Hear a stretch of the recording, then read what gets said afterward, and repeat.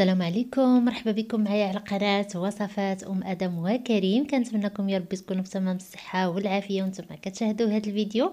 فكيف كتشوفوا في الصور فاليوم غادي نحضر معكم بسبوسة بالكريمة اللي كتجي بنينه بزاف وغادي نعطيكم جميع الأسرار باش انها تنجح معكم.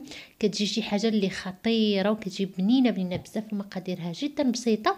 فكنتمنى اقتراح اليوم ينال اعجابكم كيف العادة ما تنساوش ليا لايك الفيديو ولا التشجيع وندوز معكم مباشرة للمقادير. التحضير وطريقة التحضير فبسم الله على بركة الله. غادي نبداو أول حاجة في تحضير القطر باش نخليوه على جنب. كيبرد واللي غادي نحتاجو ليه الكاس ديال السكر سنيدة اولا السكر الخشن وواحد الكاس ديال الماء.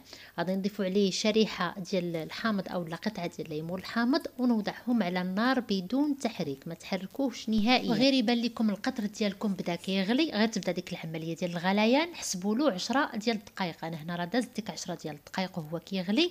غيبان لكم اللون ديالو بدا غادي الصفوره وغيبان لكم بدا كيتقال شوية. صافي طفيو عليه وضيفوا له ملعقة كبيرة هكا ديال ماء الزهر ولا ماء الورد ونطفيو عليه ونخليوه كيبرد. دابا غادا نوجد معكم المول اللي غادا نحضر فيه البسبوسة. فعندي هنايا مول اللي القطر ديالو 29 على 22 سنتيمتر.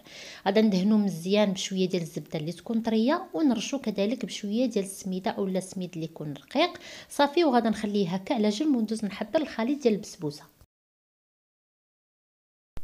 فبالنسبة للخليط ديال البسبوسة غادا نحتاج ليه ثلاثة ديال الحبات ديال البيض اللي يكونوا بدرجة حرارة المطبخ كيف كنقول لكم. دائما غادا نضيف عليهم كيس ديال السكر فانيليا واحد الرشيشة هكا ديال الملحة باش كتصحح لينا الذوق وغادا نضيف نصف كأس ديال السكر سنيدة أولا السكر الخشن. فحاولوا أنكم ما تكثروش السكر في الخليط لأنه مازال غادي نسقاو البسبوسة ديالنا بالقدر. وصافي كنخلط كلشي هكا مزيان بالطراب اليدوي. وغادا نضيف كاس ديال زيت المائدة اولا الزيت النباتي ما يعادل 200 مليلتر مع علبة ديال الياغورت طبيعي بدون نكهة أو بدون سكر من وزن 125 غرام وتقدروا تعوضوه كذلك حتى بكاس ديال الحليب. إلا كان عندكم كذلك هنا بغيتو تنكهوا البسبوسة ديالكم فضيفوا لها شوية ديال قشور البرتقال اولا قشور الحامض. صافي وكنعاود مرة أخرى نخلط كلشي مزيان بالطراب اليدوي ونبدأ نضيف السميدة. السميدة اللي كتكون خاصة بالحرشة والبسبوسة يعني راه كتكون رقيقة. فغادا نحتاج منها كأس ونصف يعني دائما الكأس اللي المعيار ديالو 200 مليلتر فأنا هزت ليا كأس ونص ديال السميدة واخا كيبان لكم هنايا الخليط جاري راه كتعرفوا بأن السميد راه كيتشرب. وضفت كيس ديال خميرة الحلويات من وزن 15 غرام ما يعادل زوج أكياس يا إما ديال سبعة اولا ديال 8 غرام. صافي وكنخلط كلشي هكا مع بعضو.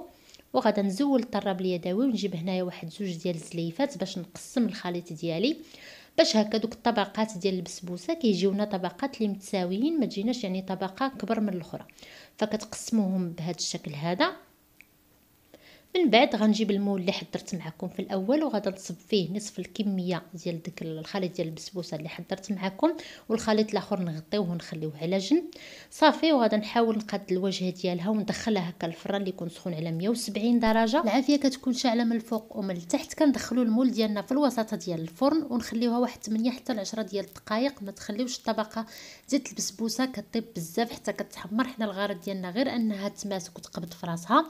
ملي كتقيسوها بايديكم يديكم وتلقاوها بأنها صافي تماسكت صافي خرجوها من الفران ومباشرة بعد ما توضعوا البسبوسة في الفران كطيب دوزو ديك الساعة تحضروا الكريمة واللي غادي نحتاجوا ليها نصف لتر ديال الحليب مع ثلاث ملاعق كبيرة ديال النشا اولا ديال المايزينا وكذلك زوج ملاعق كبار ديال السكر سنيدة أولا السكر الخشن وواحد الكيس ديال السكر فانيليا. فاللقطة اللي درت فيها الفانيليا ما عرفتش تقطعات ليا. المهم ضيفوا كيس ديال السكر فانيليا وكتخلطوا كلشي على البارد. وكنوضعها على النار مع التحريك المستمر حتى كنحصل على كريمة اللي كتكون متماسكة وكيولي القوام ديالها بهذا الشكل هذا. مباشرة من بعد ما كنزولها على النار غادا نضيف ليها علبة ديال الجبن كريمي أي نوع جبن كريمي متوفر عندكم.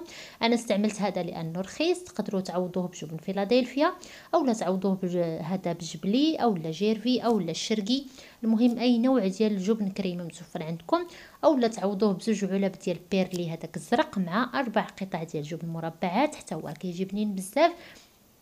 وكتخلطوا كلشي بالطراب اليدوي مع الكريمة وهي مازال سخونة باش كيذوب لكم داك الجبن وكنحصلوا على كريمة اللي كتجي ملسه ومتماسكة.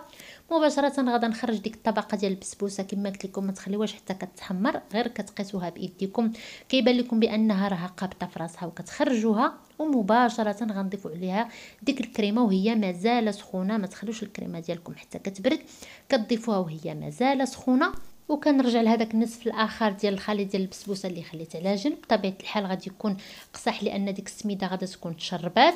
فباش غادي نجريو هذا الخليط غادي نضيفوا له شوية ديال الحليب. يعني كتضيفوه على حسب النوعية ديال السميد اللي عندكم لأنه كاين السميد اللي كيشرب وكاين اللي ما كيشربش. فبالنسبة لي أنا راه خدات ليا ثلاثة ديال المعالق كبار ديال الحليب. صافي وكنخلطهم هكا مزيان حتى كنحصل على هذا القوام هذا. وكنجيب هنايا المول وغادا نصب عليه هذيك الطبقة الأخرى ديال البسبوسة. بالنسبة ليا فاش وضعت هذيك الطبقة ديال آه الكريمة راني ما عاودتش رديت المول للفران راني خليته غير على جنب.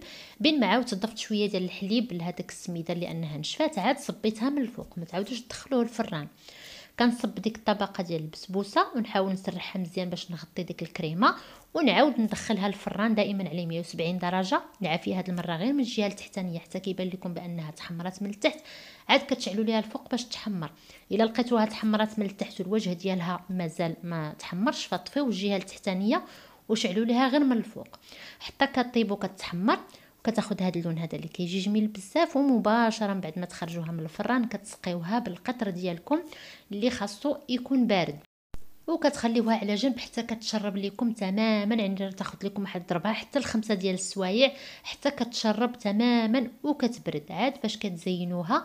هنا اختاريت نزينها بشوية ديال الكوك. بالنسبة لكم التزيين راه تيبقى اختياري تقدروا تزينوها بشوية ديال ال pistache. المهم التزيين راه على حسب الرغبة ديالكم. فأنا هنا درت ليها هكا مربعات بالكوك. ووسط كل مربع درت شوية ديال اللوز concassé اللي محمر في الفران. وكيكون هذا هو الشكل النهائي ديال البسبوسة ديالنا. فكيف ما قلت لكم خليوها حتى كتبرد تماما وكتشرب لأن ديك الكريمة كتكون مازال سخونة وسايحة. فكتخليوها حتى كتبرد باش هكا فاش كتجيو تقطعوا البسبوسة ديالكم ما كتلصقش لكم ديك الكريمة اولا تسيح معكم. فكتخليوها حتى كتبرد باش كتماسك. صافي وكتقطعوها يعني على حسب الرغبة ديالكم. هنا غنوريكم الشكل ديالها ما شاء الله من الداخل كيفاش كتجي. كتجي رائعة بزاف والمذاق ديالها ما نعاودش لكم. كتجي بنينة بنينة بزاف. كما قلت لكم دوك الطبقات راه كيجيو متساويين لأننا يعني درنا آه الخليط ديالنا قسمناه على جوج ودرنا خليط اللي متساوي فالطبقات كيجيونا مقادين ما شاء الله وكيجيو باينين. ومن الأحسن يعني باش تقدموها خليوها يعني واحد ستة حتى لسبعة ديال السوايع عاد قدموها لأنها كتكون تشربات مزيان وكتجي بنينة أكثر كنتمنى إن شاء الله الاقتراح ديال اليوم أنه ينال إعجابكم وأنكم تجربوا الوصفة وما تنساوش تخليو لي رأيكم في التعاليق. وما تنساوش كذلك فضلا وليس امرا لايك للفيديو إلى عجبكم وكذلك البارطاج مع احبابكم وصحابكم على مواقع التواصل الاجتماعي.